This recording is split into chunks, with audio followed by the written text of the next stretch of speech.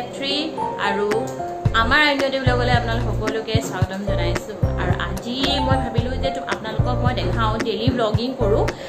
Actually কি হ'ল বহুত দিন মই ডেইলি ব্লগ দিয়া নাই ক'ৰবাত ওলাই গ'লেহে দিয়া হয়। আজিনো কেনেকৈ আমি দিনটো পাৰ কৰোঁ তাকে দেখাম বুলি ভাবিছোঁ তেন্তে ভিডিঅ'টো শেষলৈকে চাই থাকিব। আৰু এনেকুৱা নহয় যে কিবা স্পেচিয়েল আছে সেইকাৰণে মই আজি ভিডিঅ'টো বনাইছোঁ তেনেকুৱা একো নহয়। নৰ্মেলি আমি দিনটো কেনেকৈ পাৰ কৰোঁ তাকেই মানে লগত শ্বেয়াৰ কৰোঁ বুলিয়েই ভাবিলোঁ আৰু। আৰু সেইকাৰণে আজিৰ ব্লগটো মই বনাবলৈ ষ্টাৰ্ট কৰিছোঁ। এতিয়াও বিচনা বিচনা চিচনা পাৰা হোৱা নাই মন উঠা বেছি সময় হোৱা নাই। আৰু হাজবেণ্ড গ'ল অফিচলৈ আৰু মানে গা ধুওঁ অ'কে টাটা। এমেজনৰ পৰা দুটামান বস্তু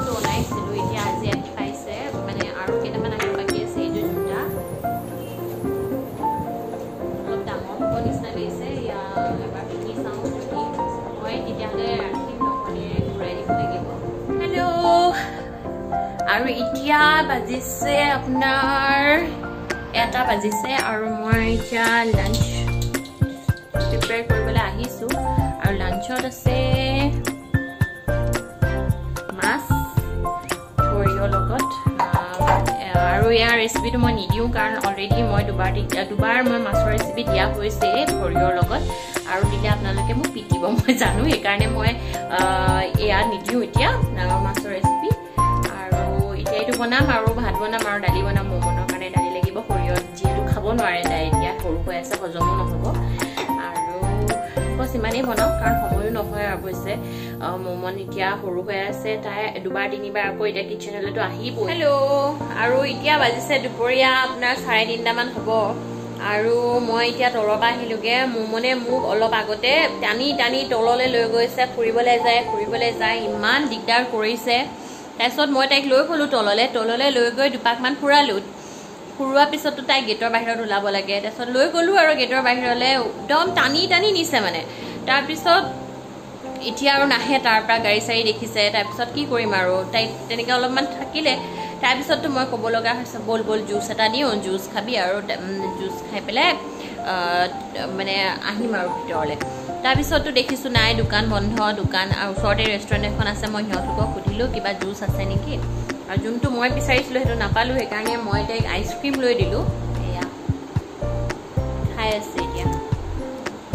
আইচক্ৰীম লৈ দিলোঁ আৰু কি সাংঘাতিক কথা জানেনে মোৰ মানে ওচৰততো পইচা নাছিল মইতো এনেই খোজকাঢ়িবলৈ তললৈ লৈ গৈছিলোঁ।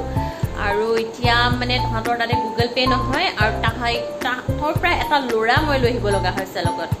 মানে সৰু ল'ৰা ছোৱালীবিলাক যে কি নকৰে নহয়। পানী খাবা। মই লৈ আনিম ৰ'বা। লোৱা। আহা এইফালে আহা। লোৱা।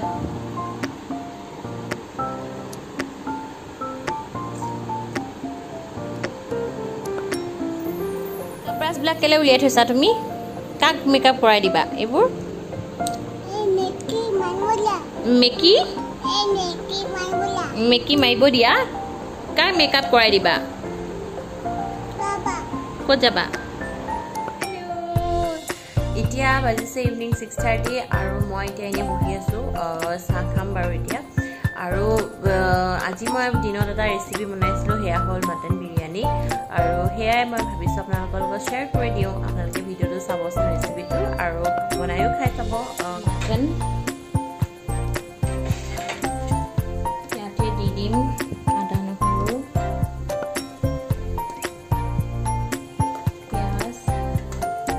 দুটা। দি দিম দৈ। দৈ এক কাপমানৰ জোখৰ। এতিয়া দিম অকণমান হালধি গুড়া। এক চামুচতকৈ অকণমান বেছি। জিৰা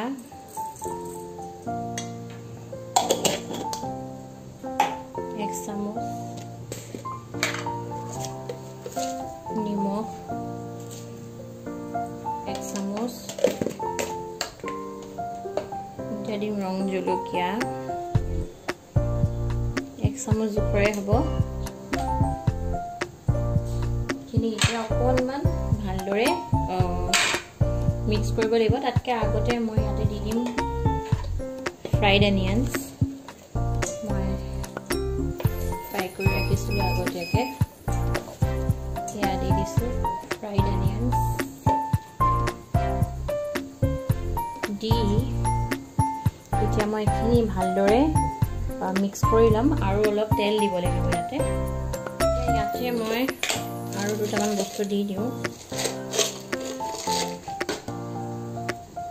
তিনিটামান ইলাচি দি দিছোঁ লং দিছোঁ তিনিটা। এইখিনি দি ল'লোঁ। আৰু এইখিনিত মই অকণমান তেল দিব লাগিব। তেল। জাষ্ট মেৰিনেট কৰিবলৈ কাৰণে মই অলপ দিয়া দিছোঁ। আৰু এইখিনি মই ভালদৰে হাতেৰে সানি ল'ম।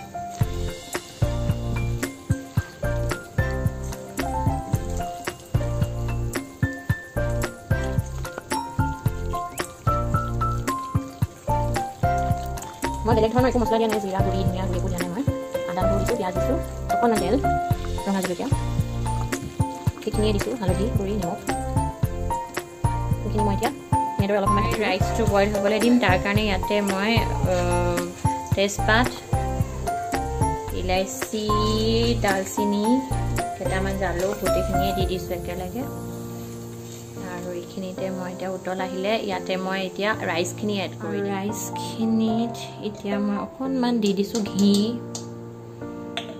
আধা চামুচমান জোখৰ ঘি দি দিছোঁ নিমখ দি দিছোঁ। দুই চামুচ নিমখ উতলি দি দিছোঁ। আৰু এতিয়া ইয়াত মই এইটি টু নাইণ্টি পাৰ্চেণ্ট সিজাই ফ্ৰাই কৰা অকণমান তেল মই ইয়াতে দি দিছোঁ। আৰু এইখিনি মই চিপ কৰি দিম এটা নন ষ্টিক কেৰাহীলে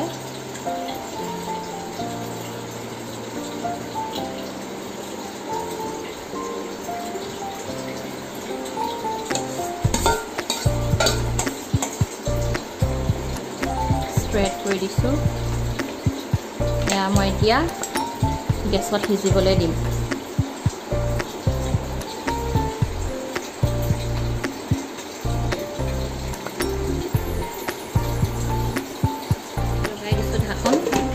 ইয়াকে সিজিবলৈ পাৰ্চেণ্টমান কুক হোৱাৰ পিছত মই এনেকৈ ষ্ট্ৰেইনাৰ এটাত আপোনালোকে কৰিব পাৰে। মই খৰাহী এটাতে কৰিছোঁ উলিয়াই ৰাখিছোঁ আৰু এইটো পানীখিনি অলপ পৰিব দিছোঁ ইয়াৰ তলত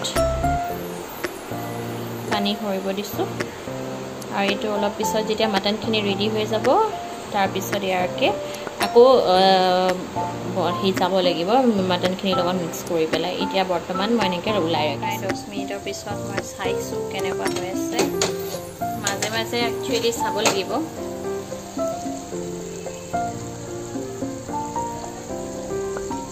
তেল ওলাইছে ইয়াৰ পৰা কিন্তু মাটনটো মানে সিজিবলৈ বহুত টাইম লাগে সেইকাৰণে অলপ টাইম ৰাখিব লাগিব।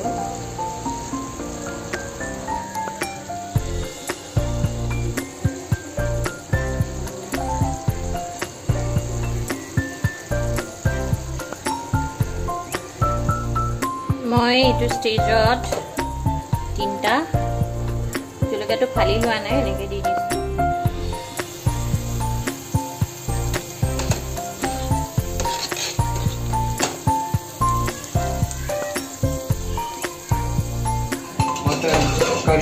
Mutton curry. চাওঁ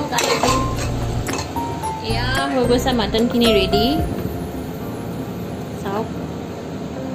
আৰু এতিয়া মই ইয়াৰে মাটনটো সিজালৈকে চাই থাকিব আৰু ভালদৰে সিজাৰ পিছতহে বাকী বিৰিয়ানী প্ৰচেছখিনি ষ্টাৰ্ট কৰিব লাগিব। এয়া মোৰ মাটনখিনি প্ৰায়ভাগ সিজি গ'ল আৰু এতিয়া মই বিৰিয়ানী প্ৰচেছখিনি ষ্টাৰ্ট কৰিছোঁ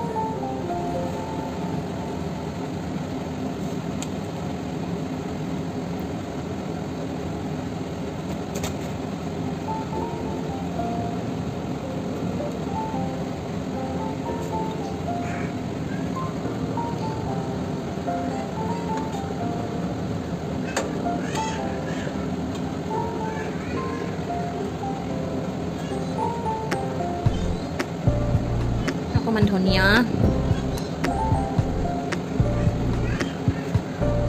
ফ্ৰাইড অনিয়নছ এতিয়া আৰু এটা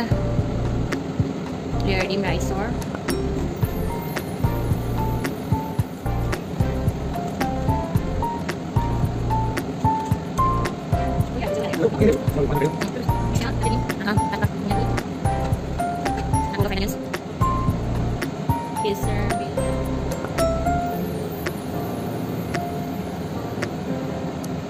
ৰাইচ ৱাটাৰখিনি ইয়াতে অকণমান দি দিছোঁ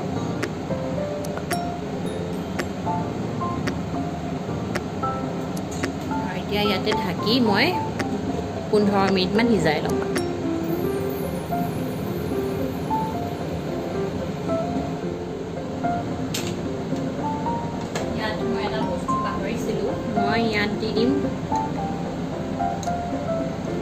চামুচ ঘি। ওপৰেৰে গলি থকা নাই কাৰণে ডাঠ হৈ আছে মিক্স হৈ যাব। আৰু এতিয়া মই ঢাকি দিম বিৰিয়ানীখিনি দহ মিনিটমান এনেকৈ। হৈয়ে গ'ল।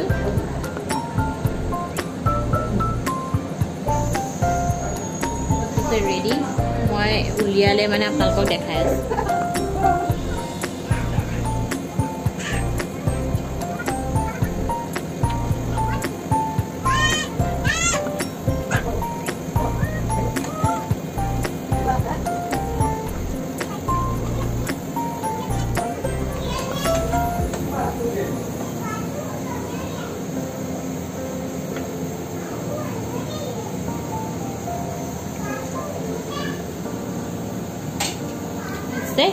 এয়া হ'ল বিৰিয়ানী ৰেডি।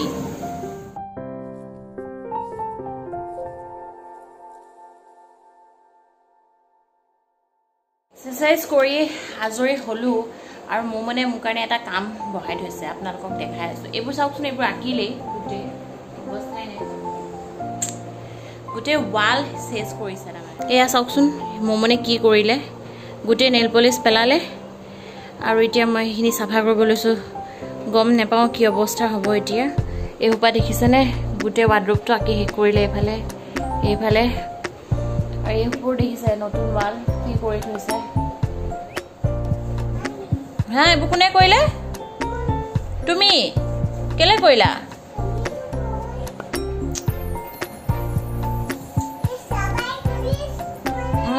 কেলে কৰিলা এইবোৰ তুমি?